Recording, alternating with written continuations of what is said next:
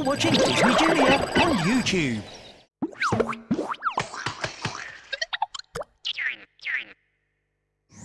I love Halloween and I love dressing... What was that? What was that strange noise? Oh, it's getting closer. Ah! It's my Art Attack Mini Cup Monster. So small, but such a growling noise.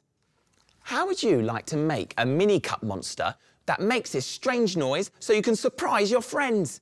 Well, the first thing that you're going to need is a cup like this one. Then you're going to get a grown-up to place it on some soft modelling clay like this.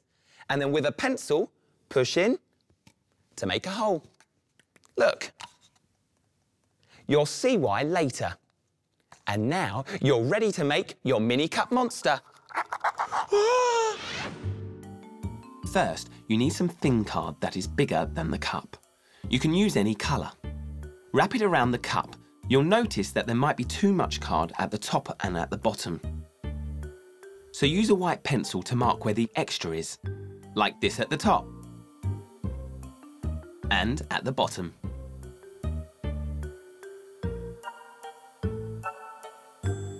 When you unfold the card, you'll have these curved lines. Draw straight lines to join the curved lines at both ends. Then cut this shape out. Use some glue to stick the coloured card around the cup. Glue the edge down really well. Perfect! So now you've made the mini monster's body using just a cup with a hole in the bottom and a piece of card. Now for the next part, making the monster's head, which is easy. Watch this. Take a thick piece of white card.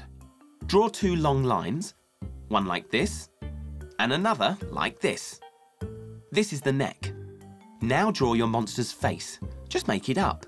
Maybe do a pair of huge bulging eyes.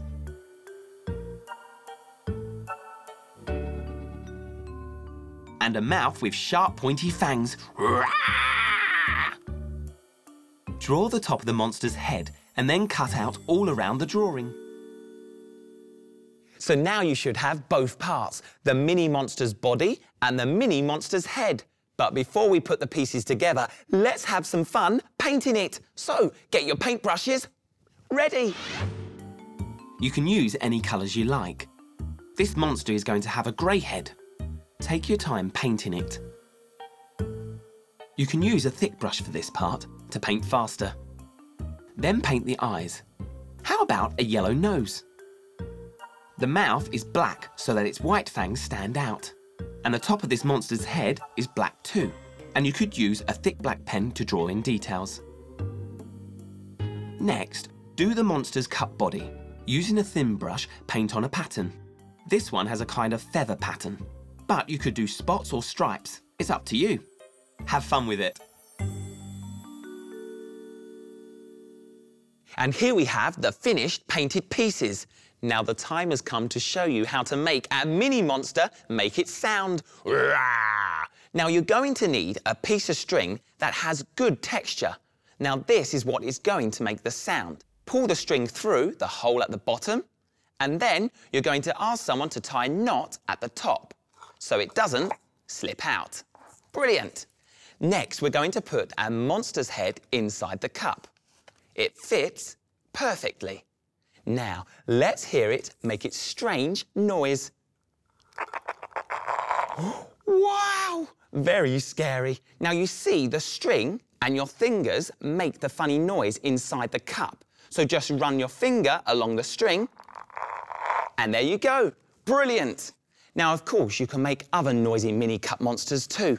How about this spotty one here? Ooh, it looks like a strange cow. Mm. Let's see what noise it makes. Very strange. and here is a black and orange cup monster with a strange skull design.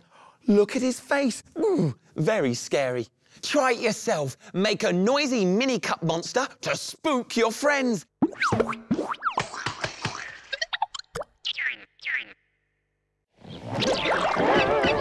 Click left or right for more great shows, or subscribe to keep up to date with the latest Disney Junior YouTube clips.